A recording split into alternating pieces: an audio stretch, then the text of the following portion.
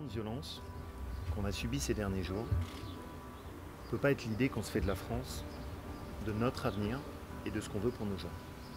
On a eu euh, des policiers, des gendarmes, des policiers municipaux, des pompiers, des gardiens de prison qui ont été engagés sur le terrain. Et avant qu'on tire ces conséquences, je veux d'abord qu'on leur rende hommage. Après les jours épuisants qu'ils ont connus.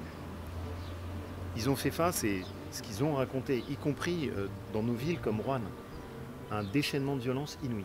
Et c'est pour ça que c'est important qu'on leur rappelle qu'ils ont le soutien de l'immense majorité des Français. On a vu ce qu'ils ont fait.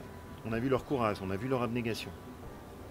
On a vu le sang-froid avec lequel ils sont intervenus. La question qui se pose maintenant, elle est assez simple. Combien y aura-t-il de jugements? Quelle sera la sévérité des peines? Quelle sera surtout malheureusement la réalité de ces peines Et il est fondamental qu'à ces questions, la justice réponde pour mériter son nom. Après ce qui s'est passé, toute atteinte à l'intégrité physique doit faire l'objet ensuite d'une sanction privative de liberté. Si on veut reprendre la main, si on veut réinstaurer du calme, si on veut lutter contre la violence, ça me semble indispensable. Si on veut arrêter cette spirale, il faut que notre pays arrête de courber les chines.